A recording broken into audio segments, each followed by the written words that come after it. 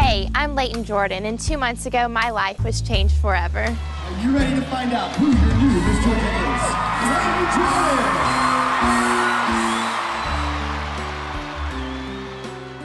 Having a strong support system, especially these past two months, is so important to me. They help me through all of life's up and downs, and they help me keep perspective on this whole journey.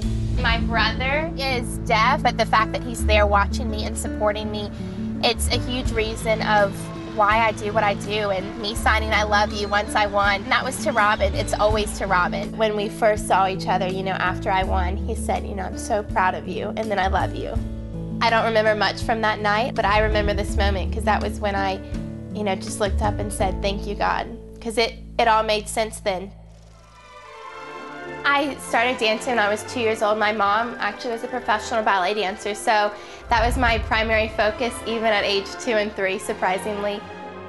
Getting accepted to Houston Ballet 2 when I was 15, that was kind of when I realized, wow, you know, my, my dream, it's right in my face and it's mine to either take it or not. And so when I had to stop dancing because of my injuries, you know, I can kind of realize that now my life is not about me and what I can do to get to the next level, but it's about what I can do to help others get to their next level.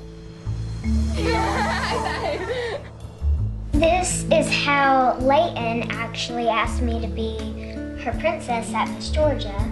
Yep. It was a fun way for her to ask me.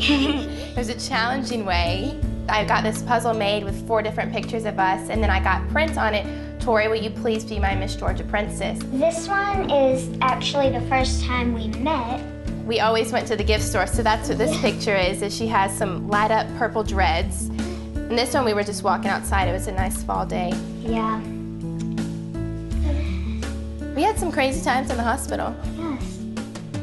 We were in the hospital and she actually bought some arts and crafts and we made a hat. It says, faith, hope, love, everything that I love, like love. My life experiences have helped me to have a lot of strengths. I had five roommates in Houston, all from different countries, and that just gave me a great appreciation for diversity. And then growing up with a special needs brother has instilled in me since a young age to take what I have been given in life and to use it to help others. And so with those things combined with the responsibility that I learned moving away from home at 15 years old, I truly believe that I'm ready to be the next Miss America. I hope that you've gotten to see a little bit of who I am and what my life is like leading up to Miss America. And you can watch me live on ABC from Planet Hollywood Resort and Casino on Saturday, January 12th. Bye.